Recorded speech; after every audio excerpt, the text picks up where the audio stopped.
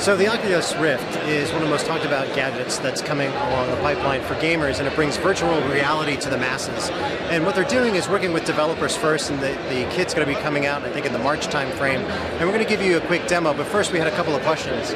Know, so the Rift, you guys are trying to bring virtual reality gaming because a lot of people just have tried it on other platforms and they might not really know what it means, but this is really a truly immersive experience.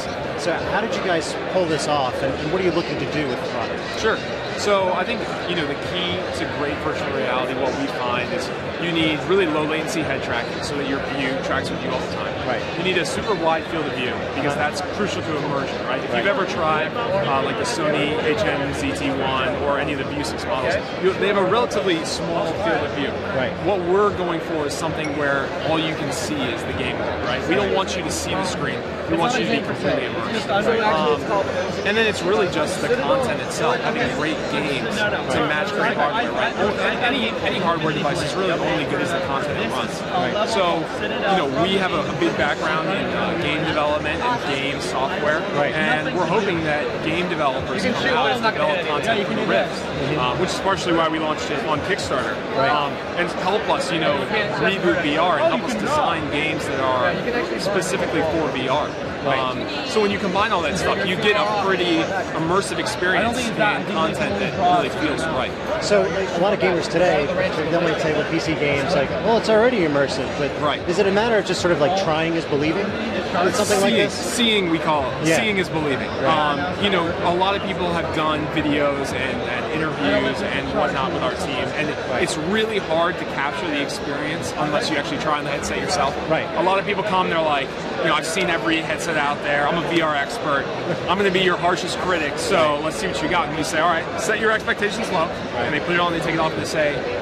It actually works. You guys are actually you're delivering what you know. It's not just smoke and mirrors Right. and that's super important to us. You know, when we uh, when we founded the company, when Palmer originally founded the company, his whole vision was to really take you know gaming to the next level, really create that virtual reality device that we've always dreamed of, where you can actually jack into the matrix and, Right. and, and be part of that.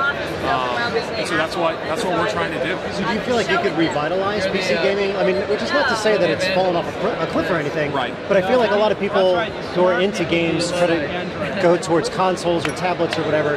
Do you think like the PC gaming market, more mainstream users might come back because of something like this?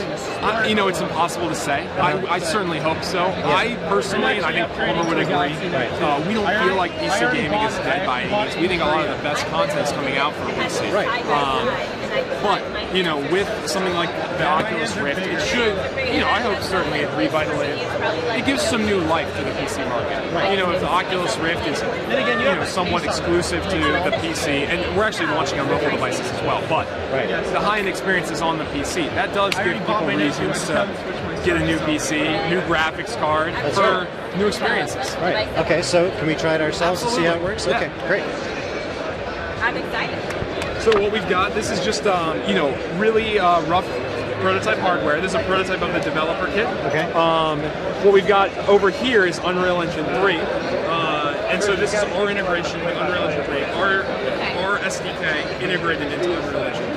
So when I give you this, just take it with two hands, bring it up to your eyes.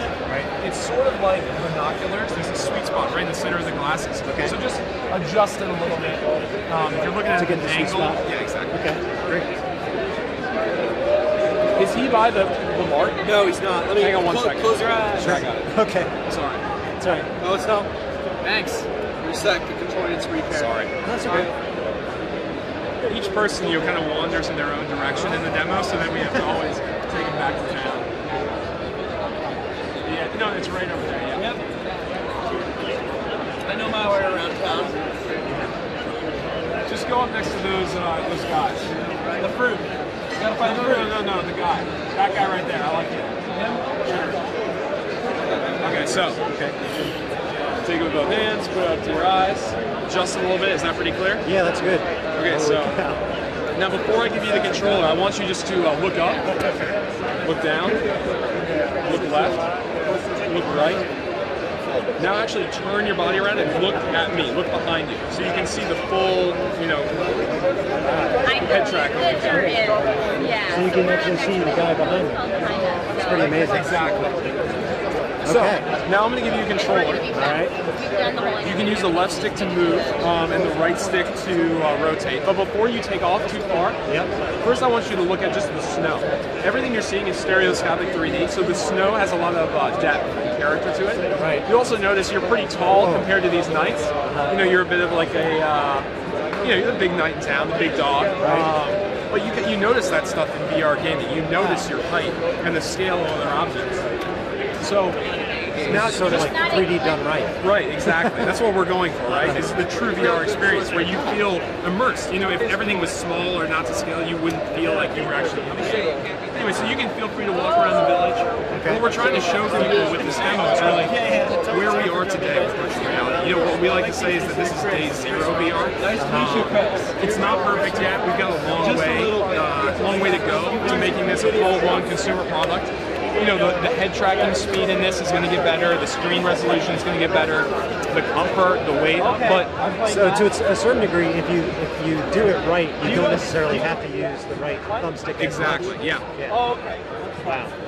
It's really amazing. So, You know, this is the beginning. and you guys are shipping this to developers in March. In March, and we hope you know that content starts to take off. We build some momentum, hopefully, and you know, as soon as we get the hardware and the software right, we'll uh, we'll launch the uh, consumer version.